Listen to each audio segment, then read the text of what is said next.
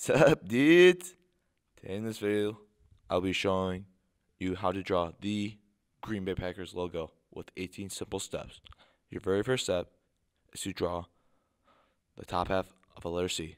And your second step is finish drawing the letter C by drawing the bottom half of it. Your third step is now to make a line from the bottom point of the C to the little half past the C. If you put an imaginary line down the middle of it and stop. Now for the fourth step, make a short, little tiny line going up from the last point where you stop. Fifth step, make a long line to the right from your last stopping point to pass kind of your C looking sh object shape you have. Next, for your sixth step, draw a quarter part of a circle. Seventh step, do the same thing. Draw another quarter part of a circle from your last stopping point. For the eighth step, the exact same thing from steps six and seven.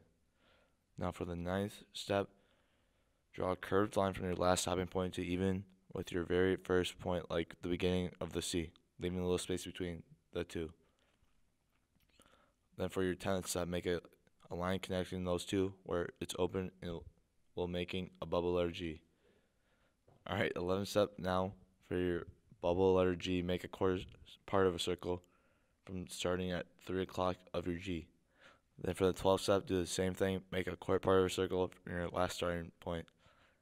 13th step, do the same exact thing as step 11 and 12. Draw a quarter part of a circle.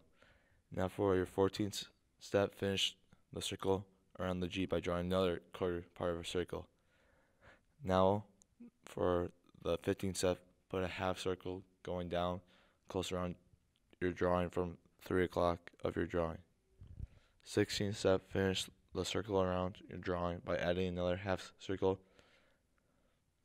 For the 17th step, fill in the circle around the G with a green marker. And finally, for 18th step, the circle surrounding the G and the green you you just colored in, fill in that with yellow.